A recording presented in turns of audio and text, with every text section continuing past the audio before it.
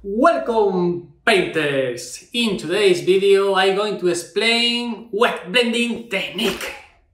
If you follow all these steps you will get awesome result. So if you are ready, let's go for it!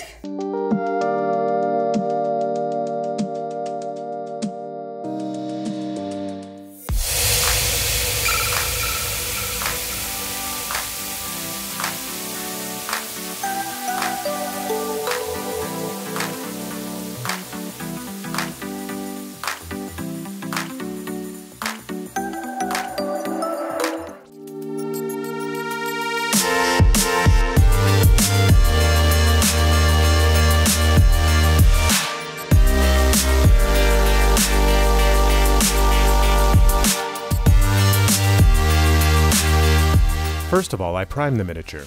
I use the mixed technique of black and gray.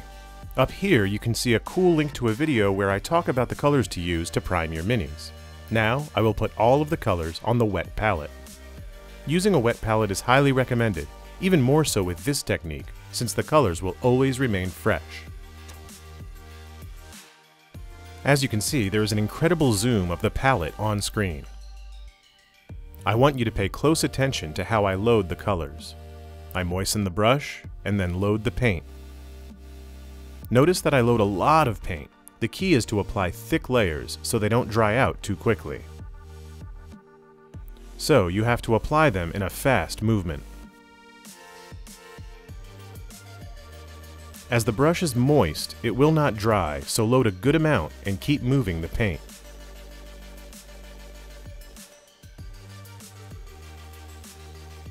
You see that the paint stays fresh, and now we get another color, this flesh color. Pay attention to how I apply it to the belly and blend it. I work the acrylic as if it were oil paint. I press very little to blend both colors. To blend both the green and this flesh color. I got asked about how I use the wet blending technique when I recorded the video of the troll. Well, here it is in normal speed. Pay close attention to the movement. The paint stays fresh. Because I applied a thick layer and the brush is wet, that's the trick.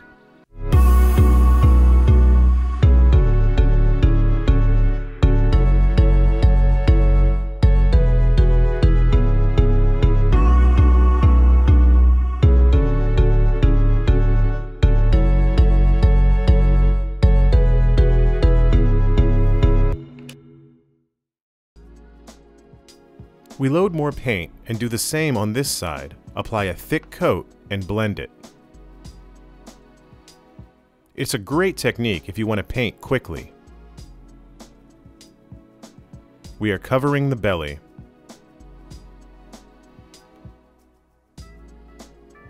And blend it now, like oil paint.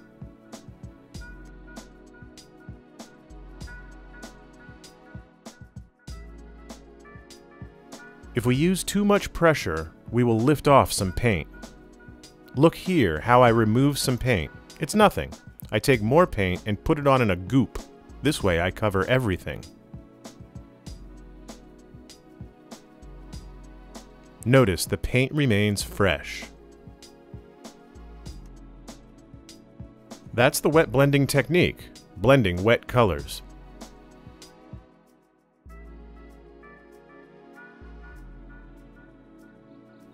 I will paint the legs a little to show you the effect. And let's blend it. Keep in mind this is not a layering video. I just want to explain the wet blending technique, which is to blend fresh colors.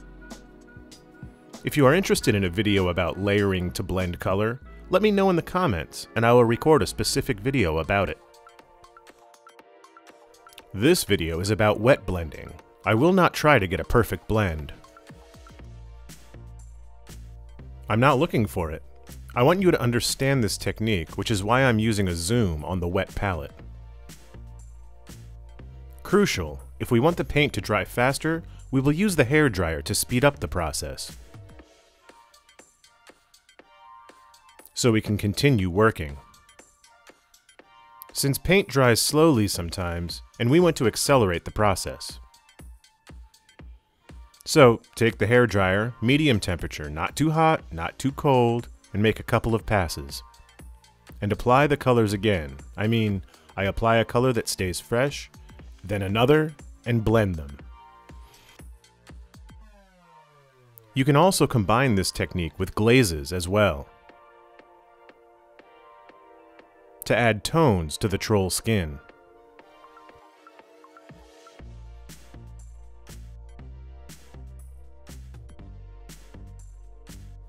You see that it is a very simple technique.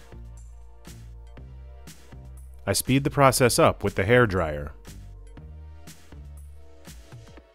And you see how the paint dries.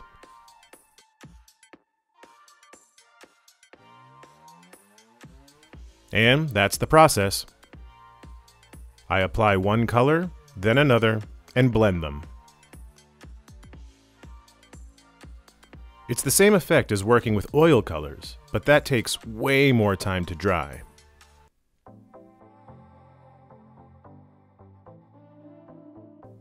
But acrylic is super easy to apply, and you see if we use a moistened brush and thicker paint, we can do this oil effect to blend the colors.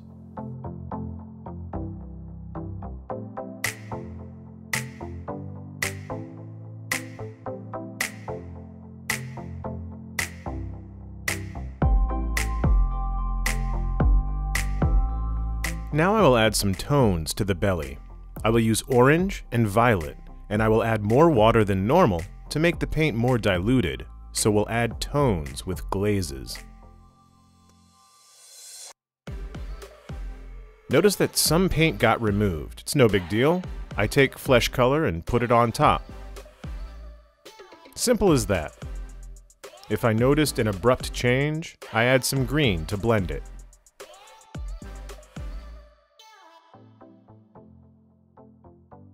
That's the advantage of the wet blending technique. As we work with fresh paint, we can blend the colors.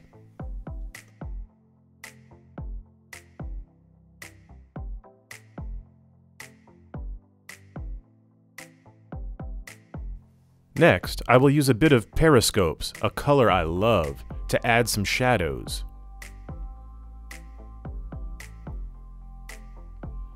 It's a fast painting process. I just want you to understand the wet blending technique. Work the colors while fresh, like an oil painting.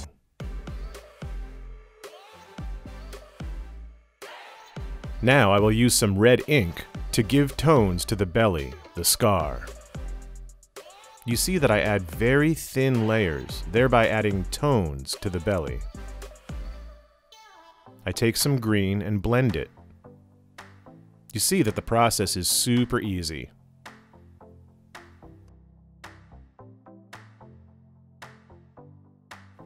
And the colors blend great with this technique.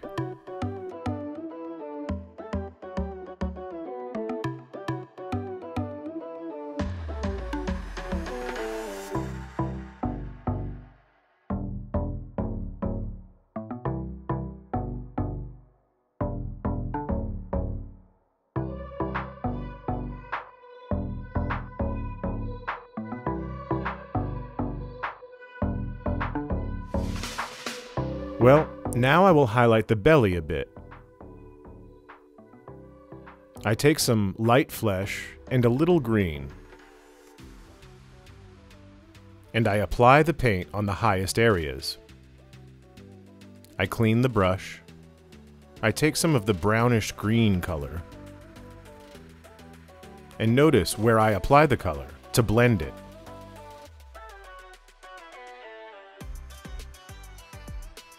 I add very thin layers. To blend, I moisten the brush a bit.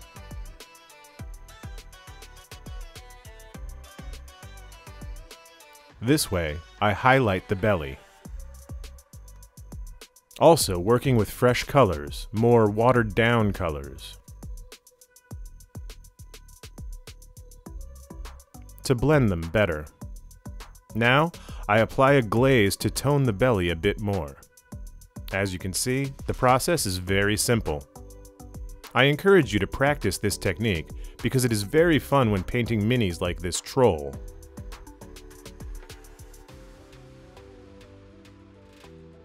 Or any rather organic figures. You can also paint a cape and lots of things. I keep highlighting.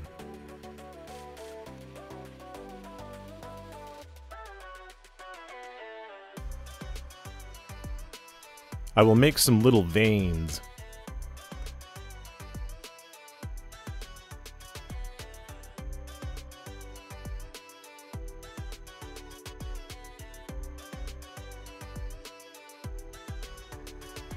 And you see that with a few little layers, this changes a lot. If we spend more hours on it, the result would be much better. But in this video, I just wanted to explain the wet blending technique, and I hope this video helps you understand the technique.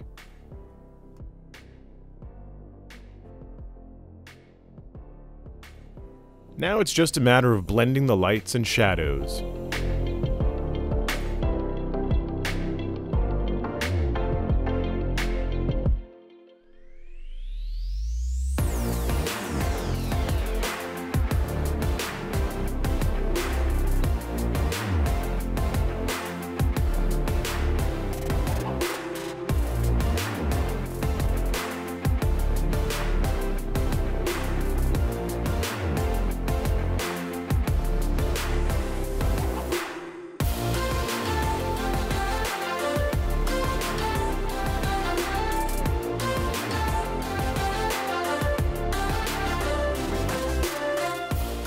And you can see that the colors blend perfectly with this technique.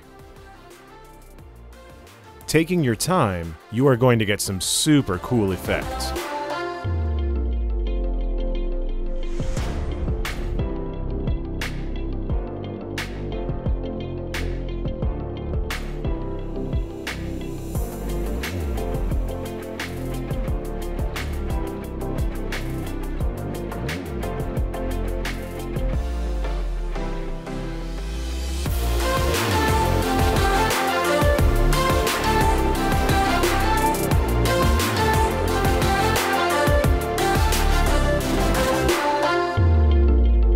For the second example, I will paint a cape, the same black primer. I will use an Artis Opus brush, size 2, and the colors blue and royal blue. I put both colors on the wet palette. I will add a little bit of matte medium, since the blue colors are a bit satin. And now, with this product, matte medium,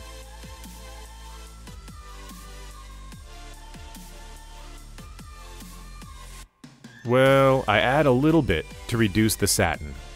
This is not related to the wet blending method at all. I add matte medium so the blue color isn't so shiny on camera. Notice I load a lot of paint on the brush. Here it's thick layers, not thin coats. It's the opposite. It's a very fast technique, as I explained in the first example. I use thick layers to paint quickly. If you are gamers, I recommend this technique. Later, if you are looking for a perfect finish, you could use this technique. But getting a good blend effect takes time. In this video, I just want to explain the technique, how to blend fresh colors. Well, if you look, I'm applying a fairly thick layer to cover everything. I will add some matte medium to the other color.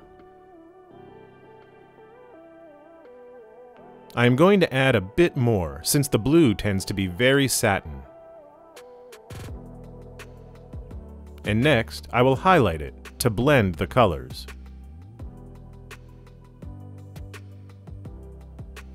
Blue with royal blue.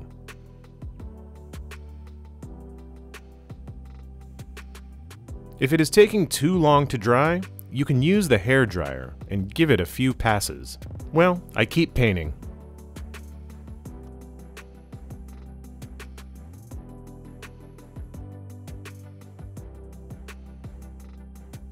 Fearless. We keep adding thick layers. It's like painting with oils.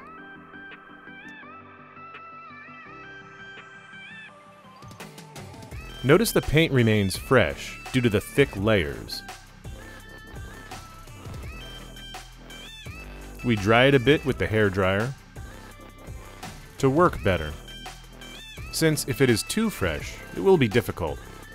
So don't hesitate to use the hair dryer to speed up the process. Don't dry it completely, just a little to dry it out a bit, and then apply the color.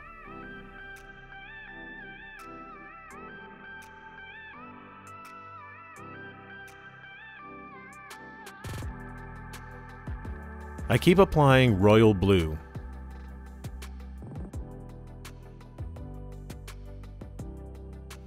The first example was more noticeable because the colors were very different, since there was green and flesh color. This time, it's more difficult to see it because the colors are similar, but little by little you will notice the contrast between lights and shadows.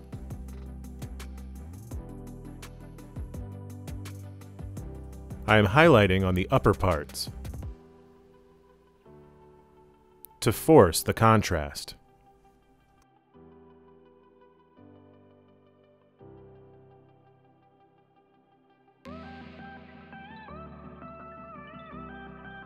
I flip the miniature to paint it. Well, I take the cap off from the holder. The new Redgrass Games holders are perfect, because if the handle bothers you, you can remove it and use only the cap to hold the Mini. Well, pay close attention to how I apply the color. All fresh.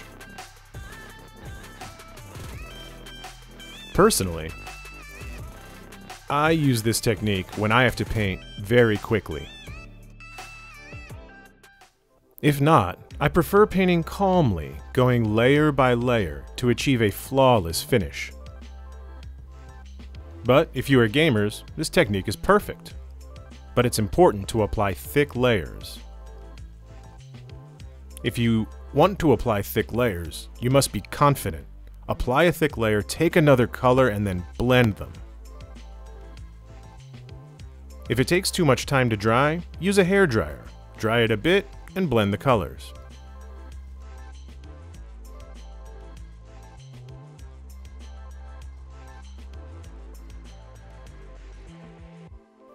Notice I use very little brush pressure to blend blue and royal blue.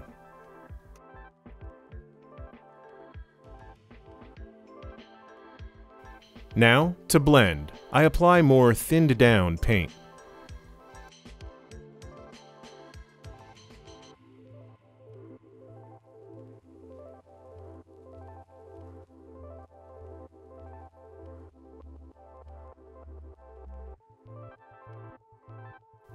Let me know any questions you have in the comments. If you want more videos about this technique, comment below and I'll add it to my list of pending videos.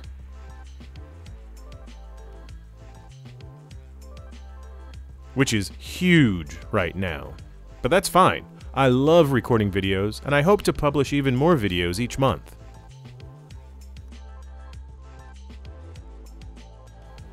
Now with sky blue, I'm going to keep adding more highlights.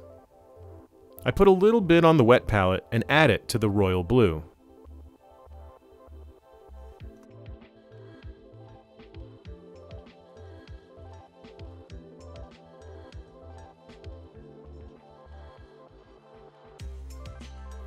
Pay close attention how I highlight and blend. And I don't worry about getting a good blurred effect, nor is this my intention with this video. I just want to explain the technique in this video.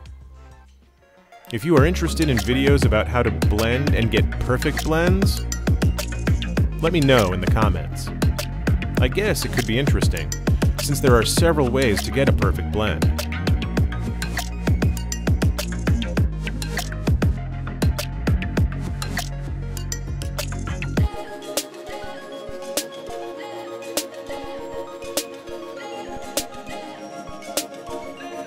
I keep highlighting and blending. And the contrast is already noticeable. I don't want it too strong.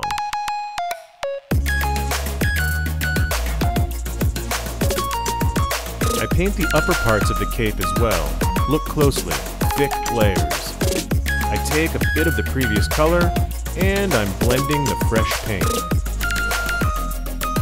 You see, it's super easy. To apply a color, take the previous fresh one and blend them. If I do it much slower, I could get a perfect blend, but I'm not worried about it now. This video is to teach the technique. I take some blue and add some layers to increase the contrast.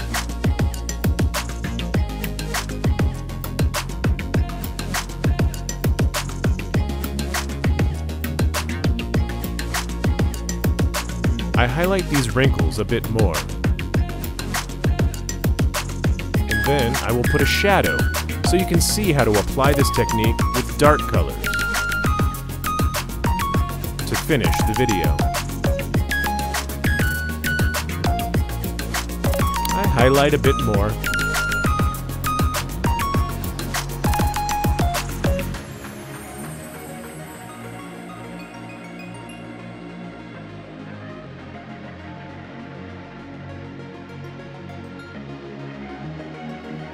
Now, I will shade it. There, this orange color. What does that do in there? It is blue's complementary color, and so it is useful for shading. Write that down, which color to use to shade blue. We could use orange, red, or a brownish red as well. But I will explain color theory later, since I have to make several videos.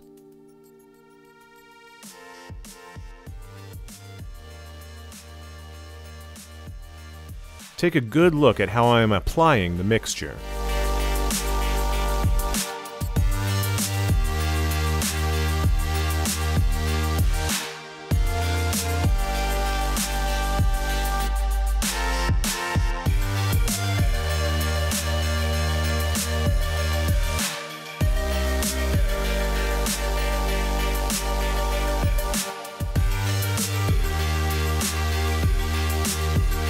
And here's the final result. Let me know any questions you might have in the comments below.